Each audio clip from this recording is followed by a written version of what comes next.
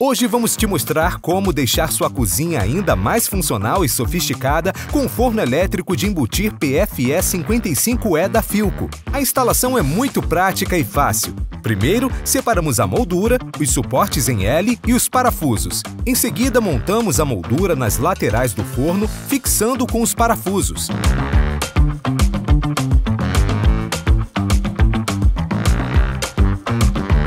Agora vamos medir a altura para fixar os suportes em L. Colocamos o forno na cavidade móvel para verificar a altura ideal e marcamos no móvel.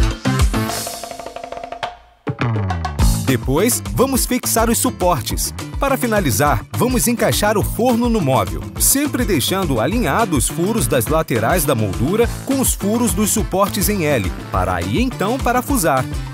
E pronto! Seu forno elétrico de embutir PFE 55E da Filco já está instalado e pronto para ser utilizado. Não apenas deixando o seu dia a dia mais prático e saboroso, mas também sua cozinha muito mais funcional e elegante. Tem coisas que só a Filco faz para você.